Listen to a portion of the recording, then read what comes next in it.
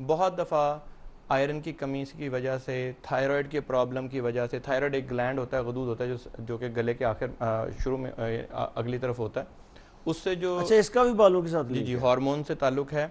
इसी तरह आपके जो अंदरूनी तौर पे ख़वातीन में जो ओवरीज हैं जो अंदरूनी तौर पे जो हार्मोन बनाती हैं उसके उतार चढ़ाव से भी बाल गिर सकते हैं। ये तम चंद उनकी वजूहत हैं लेकिन एक लंबी लिस्ट है वजूहत की जो कि हमें तशखीस से पहले पता होनी चाहिए कि क्या है। उनको अवॉइड भी किया जा सकता है। उनको अवॉइड देखें अवॉइड तो ये किया जा सकता है कि अगर कोई आप ऐसी कोई ट्रीटमेंट कर रहे हैं बालों के साथ फ़र्ज़ करें आप बाल स्ट्रेट ज़्यादा करने की कोशिश में आपके घुरंगराले बाल हैं और आप उसे बहुत ज़्यादा स्ट्रेट करते हैं तो बाल टूटना शुरू हो जाते हैं। कुछ बच्चों को आदत होती है बाल खींचने की जो जहाँ पे वो जब भी सोच रहे हों टीवी देख रहे हों तो बालों को पकड़ के खींचते रहते हैं। उसकी वजह से बाल किसी ख़ास एरिया से उतर जाते हैं। इसी तरह एक बीमारी है जिसको बालचर कहते हैं कि जहाँ पे बालों का एक ख़ास हिस्सा जो है एक दायरे की सूरत में वो उड़ जाता है। और उसकी वजह ये नहीं है कि आप उसको अवॉइड कर सकें बल्कि यह है कि आपका अपना मुदाफ़ती सिस्टम डिफेंस सिस्टम जो आपकी बॉडी का होता है वो उन बालों को मारना शुरू कर देता है वक्ती तौर पे और उसका भी इलाज मौजूद है। तो वक्त जो ज़रूरत है वो इस चीज़ की है कि पहले तशखीस कर ली जाए बालों के गिरने की ना कि पहले हेयर ट्रांसप्लांट करवाने का फ़ैसला कर लिया जाए। अनफॉर्चुनेटली हेयर ट्रांसप्लांट कमर्शलाइजेशन का दौर है।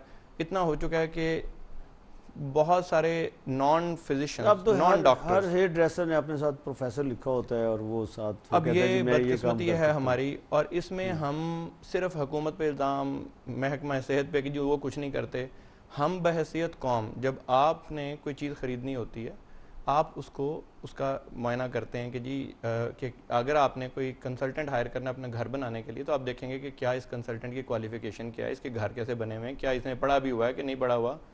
तो डॉक्टर का इंतखब करने से पहले अनफॉर्चुनेटली हम उसका पूरा कोई थोड़ी सी तहकीक नहीं कर लेते। और उसका सर अगर थोड़ी सी तहकीक करने के बाद कि अगर प्रॉपरली क्वालिफाइड डॉक्टर के पास आप जाके हेयर ट्रांसप्लांट करवाते हैं तो मेरा नहीं ख्याल कि कोई ऐसा प्रोसीजर है बीस साल पच्चीस साल से तो रेगुलरली हो रहा है उससे पहले भी हो रहा था अब बहुत रिफाइन हो गया तो अच्छा डॉक्टर साहब ये कहते हैं जी मैं खूब बंदा लाहौर का रहने वाला है कराची चला जाता है या पाकिस्तान का रहने वाला अमेरिका चला जाता है। तो चेंज से वो कहते हैं यहाँ पानी मुझे सूट नहीं किया मेरे बाल ये भी कोई है वाकई चक्कर? एक्चुअली बालों का गिरना जो है वो स्ट्रेस रिलेटेड हो सकता है। कि आपको थोड़ा सा स्ट्रेस हुआ? या आपके देखें हम ये नहीं समझते जब हम एक तो एक खातन बेचारी तो बहुत ज़्यादा स्ट्रेस लेती हैं डिप्रेशन का शिकार वो तो फिर उन वो मैंने आज तक गंजी खातून वैसे नहीं देखी जड़ते होंगे कम होते होंगे लेकिन मर्द ज़्यादा होते हैं। वो एक्चुअली ख़वातीन में जो मैंने बताया कि मसाइल मुख्तलिफ़ होते हैं चूँकि उनमें वो हारमोन्स नहीं होते जो कि मर्दों को मर्द बनाते हैं और औरतों को औरतें बनाते हैं। टेस्टोस्टेरोन एक हार्मोन है जिसके असर की वजह से मर्दों में गंजापन होता है। वो हार्मोन चूँकि ना होने के बराबर ख़वातीन में होता है तो ख़वातीन उस वजह से तो गंजी नहीं होती लेकिन उनके बाल गिरते हैं। अब ख़वातीन के चूँकि बाल लंबे होते हैं अगर आप सौ बाल अगर एक बच्चे के लेंगे या आपके किसी के हों जिसके छोटे हों बाल उनको आप बिखेरें तो सौ बाल नज़र नहीं आएँगे लेकिन अगर लंबे बाल सौ हों तो वो नज़र आएँगे। तो एक तो ये भी व्यूअर्स के लिए मेरे ख्याल में बड़ी इंपॉर्टेंट बात समझना है कि सौ से सवा सौ बालों का रोज़ाना गिरना नॉर्मल है। उसकी वजह चाहिए। इससे नहीं घबराना चाहिए क्योंकि वो अल्लाह मियाँ दोबारा प्रोड्यूस कर देते हैं। तो ये हमारा रीसाइकलिंग रीसाइकलिंग मैकेनिज्म है कि अल्लाह ने ये इतना कैपेसिटी रखी है बालों को कि पुराने बाल गिर जाते हैं सौ के करीब और नए बाल उस दिन उगाते हैं। तो उससे घबराने की ज़रूरत नहीं है। अगर आपके सचमुच दो तीन सौ बाल गिर रहे हैं, और उसका भी तरीका ये है कि आप नहाए, जिस, नहाने से पहले कंगी करके सचमुच हम फिर जब बहुत ज़्यादा कोई पेशेंट परेशान होता है, उसका एक तरीका है, और ये लिखा हुआ साइंसी तरीका है कि हम उसके बाल लिटरली नोट करेंगे कितने सचमुच गिर कितने रहे हैं। अगर तो सचमुच गिर रहे हैं तो फिर उसकी वजह दरियाफ्त की जाए कि क्यों गिर रहे हैं। और वो गिरने का, वो उसको तरीका ये है कि नहाने से पहले कंगी करके नहाने से पहले क्योंकि जब नहा तो लिया दिन के टाइम में तो इतना नहीं पता चलता नहाने के वक्त वरना ये होगा कि जब नहाएँगे आप जो बाल गिर जाएँगे वो आप काउंट नहीं कर सकेंगे। तो नहाने से पहले कंगी करके आप उनको काउंट करें। कॉलर है डॉक्टर साहब हमारे साथ उनकी बात सुनते हैं क्या कहते हैं। जी अस्सलाम वालेकुम। हेलो। हेलो। जी अस्सलाम जी कौन सा आप कहाँ से?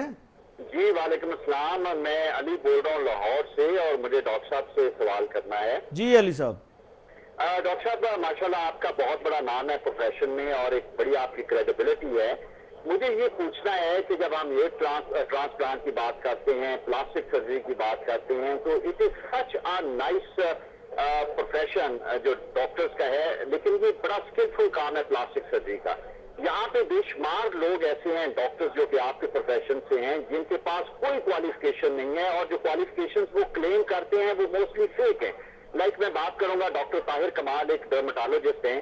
वो ये कहते हैं कि मैंने एयर ट्रांसप्लांट की जो ट्रेनिंग है, वो नेशनल कॉलेज सिंगापुर से ली है। नेशनल कॉलेज सिंगापुर कहता है, हम ये सर्विसेज़ ही नहीं ऑफ़र करते। प्रोफेशन वो कहता है ट्रेनिंग मैंने वहाँ से ली है। वो कहते हैं मैं ये सर्विसेज़ भी ऑफ़र नहीं करते।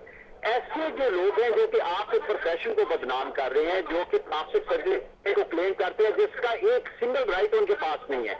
पाकिस्तान मेडिकल और डेंटल काउंसिल के पास जी अली साहब। के उनके केसेस पड़े हुए हैं। जी अली साहब ये समझता हूँ कि आप लोगों का जिम्मा बनता है कि ऐसी ब्लैक शीट को सिंगल आउट करें और लोगों को बताएँ कि प्लीज़ ऐसे लोगों के पास ना जाएँ जो क्वैक्स हैं जो आपके केसेस खराब करते हैं और please within medical profession भी आप लोगों को इनका बाइकआउट करना चाहिए। जी अली साहब थैंक यू वेरी मच जी। जी डॉक्टर साहब ये बड़ा सीरियस उन्होंने एक लगा दिया आपके प्रोफेशन के ऊपर। ये जी बिल्कुल आपके कोई किसी का वो नाम भी ले रहे थे पता नहीं। नाम लेना तो खैर बुरी बात होगी मैं अगर लूँ या कोई भी ले लेकिन एक असूली तौर पे हम्म। मैं हंड्रेड परसेंट एग्री करता हूँ इनकी बात से कि जब एक, असल में होता ही है कि जब कोई समझे ये कि ये बड़ा मनी मेकिंग टूल है तो मैं भी इसी में बन जाऊँ।